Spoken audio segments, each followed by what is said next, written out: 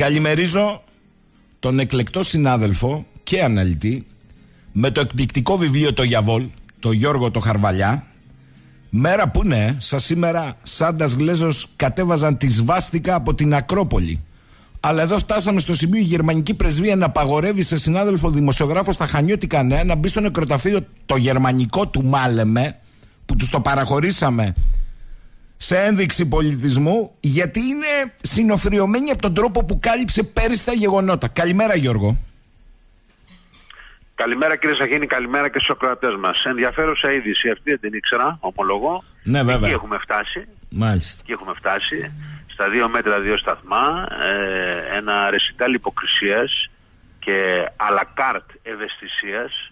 Όπως φάνηκε, θα σας πω πριν μερικές μέρες, με αυτή την περίφημη ιστορία, το ψήφισμα για τη γενοκτονία της Ρεμπρένιτσας.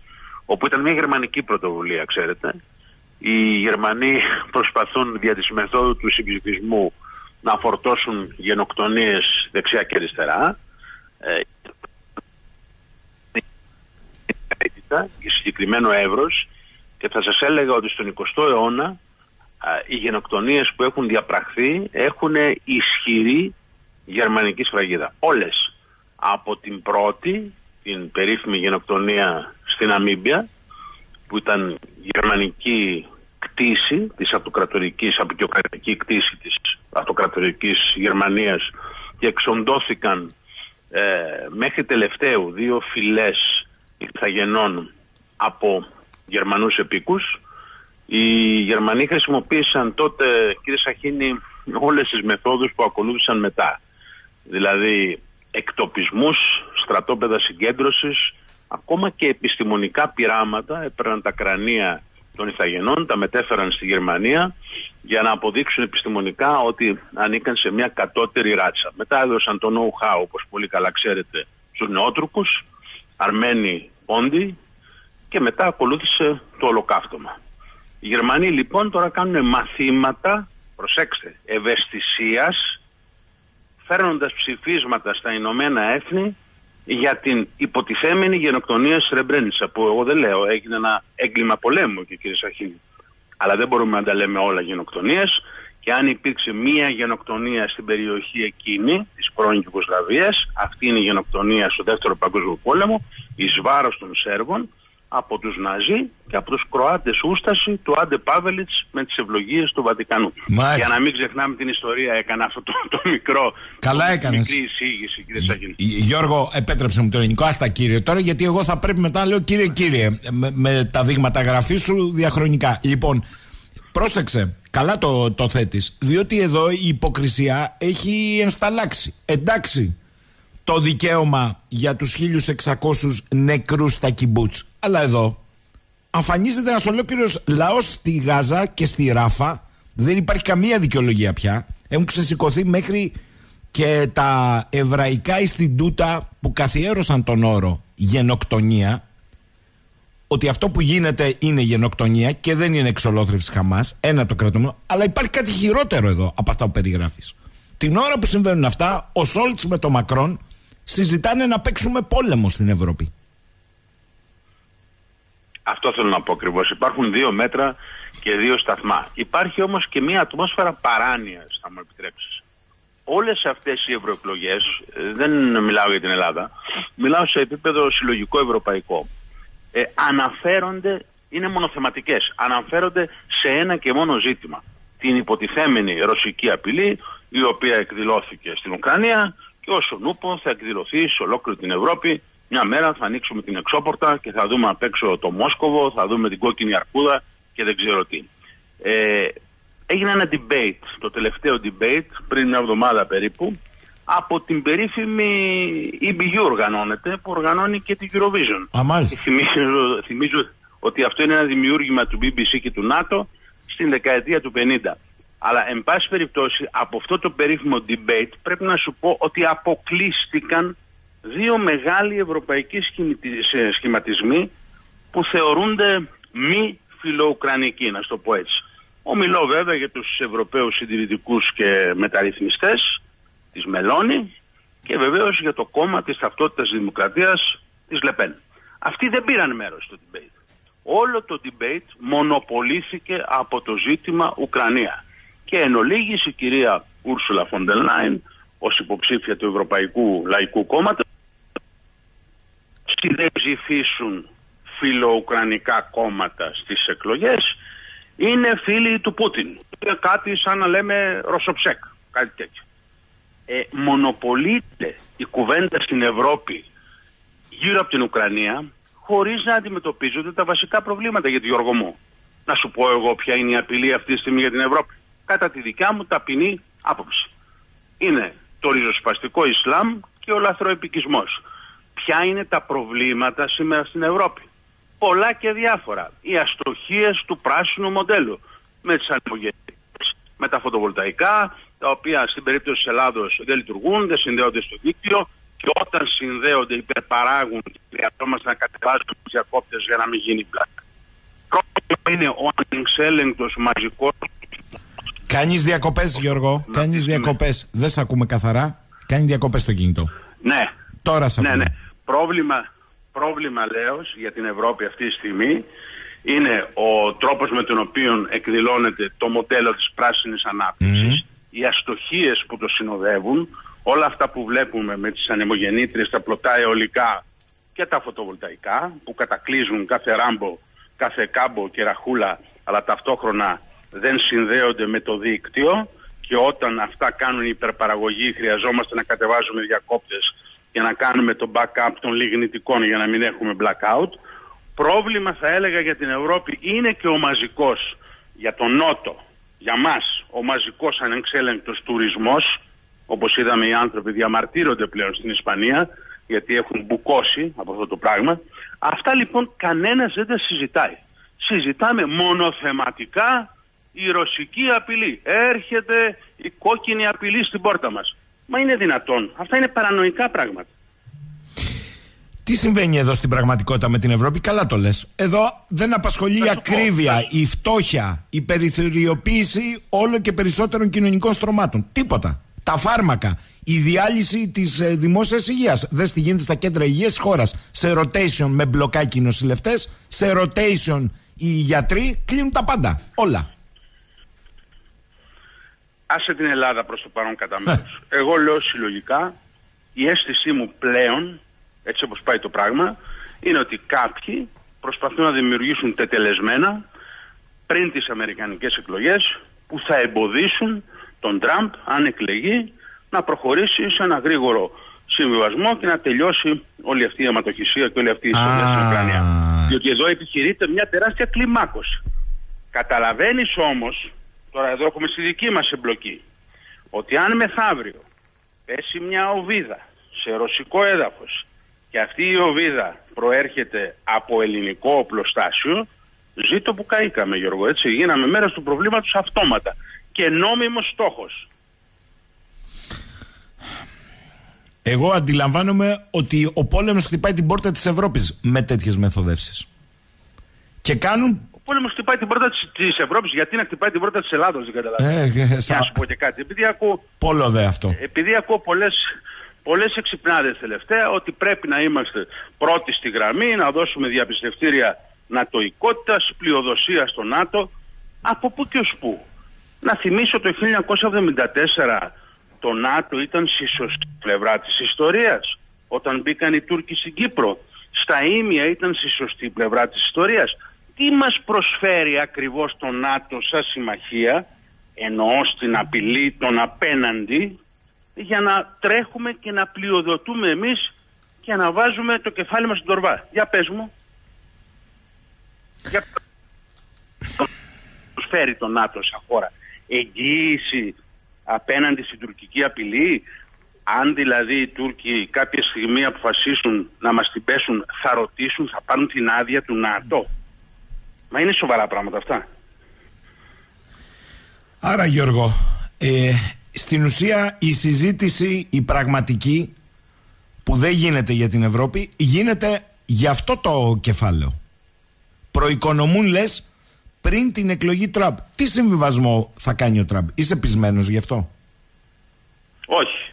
Δεν είμαι, δεν είμαι πεπισμένος, κάνει και κάποιες αντιφατικές δηλώσεις τελευταία, αλλά εν πάση περιπτώσει από τους σημερινούς οι οποίοι έχουν αποφασίσει μονόπαντα και μέχρι ε, τέλους να πάνε σε μια κλιμάκωση και σε μια διαιώνιση αυτής της σύγκρισης πιστεύω ότι ενδεχομένως με τον Τραμπ να υπάρξει σε ό,τι αφορά τη Ρωσία πρωτίστως έτσι και όχι την Κίνα. Γιατί και εκεί έχουμε ένα κεφάλαιο.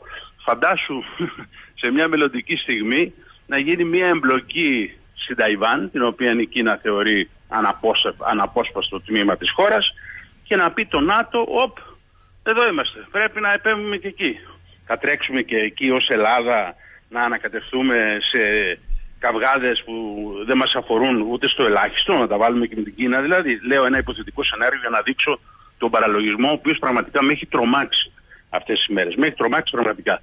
Με τον Τραμπ ίσως, ίσως τα πράγματα πάρουν μια καλύτερη τροπή, μπορεί να έχει μια καλύτερη συνεννόηση με τον Πούτιν, μπορεί να πιέσει περισσότερο τον Ζελένσκι και τους Ουκρανούς και να φτάσουμε σε έναν αξιοπρεπή συμβιβασμό.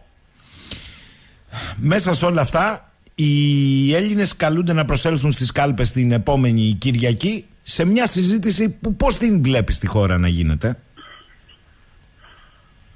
Κοίταξε, καταρχήν η ατζέντα, άμα δεις από τις εμφανίσεις πολιτικών στα κανάλια μέχρι και τις συγκεντρώσεις των διαφόρων υποψηφίων ευρωβουλευτών. Η ατζέντα δεν αφορά τα μεγάλα προβλήματα της χώρας και τα ουσιαστικά προβλήματα της Ευρώπης τα οποία είναι αυτά που σου είπα. Πρόβλημα για την Ευρώπη είναι οπωσδήποτε και το δημογραφικό. Δεν είναι μόνο για την Ελλάδα. Εντάξει, εμείς είμαστε πρωταθλητές και εμείς αντιμετωπίζουμε και συγκεκριμένους κινδύνους. Αλλά ότι η Ευρώπη γερνάει, οι Ευρωπαίοι γερνάνε, ε, είναι ένα πρόβλημα συλλογικό.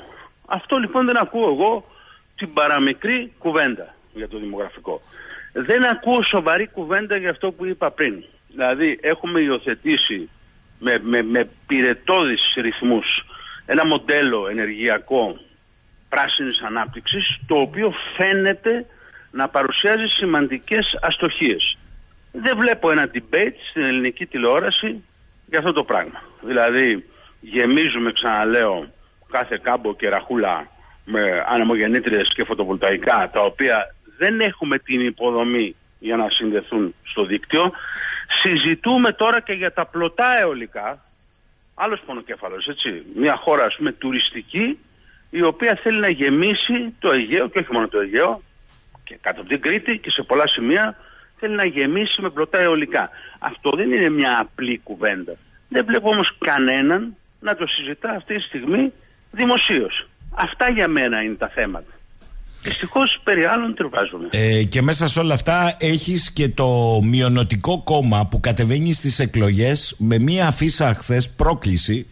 Ε, ήμασταν, είμαστε και θα είμαστε Τούρκοι με γαλάζια πατρίδα μέχρι και τη Θράκη στο, κάβρο, ε, στο κάδρο και ενσωματωμένο και τον Εύρο. Καλά πάμε, ε. Τι να λέμε τώρα, η ελληνική δικαιοσύνη πάλι δύο μέτρα και σταθμά είναι υπερευαίσθητη σε κάποιες ε, περιπτώσεις και σπέβδει να αποκλείσει θέματα και ε, κόμματα και ενδεχομένως καλά κάνει, αλλά δεν μπορεί να αφήνει τέτοιες εξόθαλμες περιπτώσεις όπως αυτή που ανέφερες και γενικότερα δεν μπορούμε να έχουμε αυταπάτες ότι είμαστε σε μια τροχιά αγάπης ε, και εν πάση περιπτώσει κατανόησης και συμφιλίωσης με την Τουρκία. Αυτό είναι μια ψευδέστηση και ψευδέστηση η οποία καλλιεργείται και από την πολιτική τάξη της χώρας και αν θες από δημοσιογραφικά μέσα ε, με τρόπο παραπλανητικό θα έλεγα της κοινής γνώμης. Δεν μπορείς να έχεις από τη μία την γαλάζια πατρίδα, την πατρίδα των εθέρων να διδάσκεται πλέον σαν δόγμα στα μικρά παιδιά απέναντι και εμείς ε, στη σχολική ιστορία να αφαιρούμε διάφορα κεφάλαια για να μην στεναχωρούμε διάφορους γείτονες είτε αυτοί λέγονται Αλβανοί είτε λέγονται Τούρκοι και πάει λέγοντας. Θέλω να κλείσουμε με μία υπόμνηση. Αυτό το Σάββατο, παρά τα όσα λέγονται στην κοινωνία και σε δράσεις συλλόγων, γίνονται πράγματα. Ο Δικηγορικός Σύλλογος του Πειραιά ε, οργανώνει μια πανελλαδικής εμβέλειας εκδήλωση στο Δημοτικό Θέατρο με ημερίδα δύο ζωνών για τις γερμανικές οφειλές. Δηλαδή ένα θέμα που το έχει ακουμπήσει όσο ελάχιστη για την πατρίδα μας. Κάτι λέει αυτό όμως για το ρυθμό που κινείται η κοινωνία από αυτά μέχρι την ακρίβεια, την καθημερινότητά της και το ρυθμό που κινείται το πολιτικό σύστημα, δεν νομίζεις; Γιώργο, αυτές είναι εξαιρετικές εκδηλώσεις, αρκεί να μην είναι αποσπασματικές για να μην τις κάνουμε, για να τις ακούμε και να τις βλέπουμε μόνοι μας. Πρέπει κάποια στιγμή να γίνει μια συλλογική πίεση προς την κυβέρνηση, έντονη πίεση, ε, και να αρχίσουμε να εξετάζουμε περισσότερο εφάνταστες λύσεις για αυτό το ζήτημα. Θα σου πω με δύο γραμμές, ναι. μια σκέψη, το κατοχικό δάνειο που είναι ε, το ισχυρό μας χαρτί, γιατί είναι αν θες συμβατική υποχρέωση, όχι μόνο επανορθωτική, αλλά είναι νομικά μαχητή, θα μπορούσε μια κυβέρνηση, εφόσον δεν έχει τα μέσα η ίδια για να το διεθνοποιήσει και να ασκήσει λόμπινγκ, να κάνει αυτό που έκαναν όλα αυτά τα χρόνια οι Εβραίοι, οι Ισραηλοί.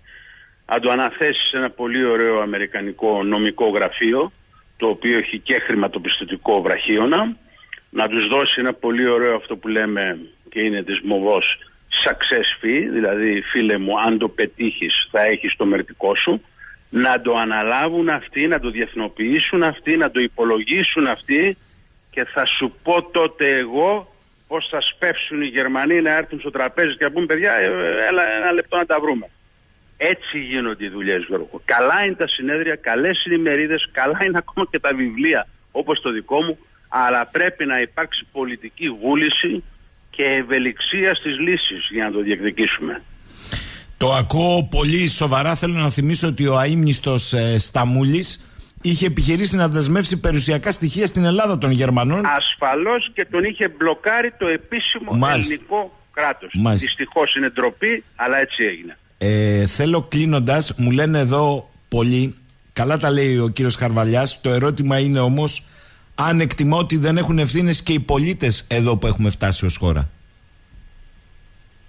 Ε, Ασφαλώς, οι πολίτες εκλέγουν, αλλά από ένα σημείο και πέρα, οι πολίτες, ξέρεις, ε, έχουν υποστεί τα πάνδυνα από τα μνημόνια και μετά και δεν στο κρύβω ότι νιώθω πως υπάρχει ένα είδος λοβοτομής που οφείλεται και στην μηντιακή χειραγώγηση. Οι πολίτες δηλαδή έχουν βάλει το κεφάλι κάτω και κοιτάνε την καθημερινότητά τους. Κακό είναι αυτό, η διαπίστωση δεν είναι ευχάριστη, αλλά υπ' αυτή την έννοια για όλα όσα επιβλήθηκαν τα 10-15 χρόνια κυρίως φταίνε η πολιτική μας και δευτερευόντως οι πολίτες. Γιώργος Χαρβαλιάς, θέλω να τον ευχαριστήσω. Ε, στην ουσία, κρούει μια καμπάνα για μια συζήτηση που γίνεται στα ψηλά σαλόνια, αλλά που θα αφορά τα χαμηλά αλόνια αν προκύψει ο σφάσμα πολέμου στην Ευρώπη. Γιώργο, καλημέρα. Γεια χαρά, ευχαριστώ πολύ.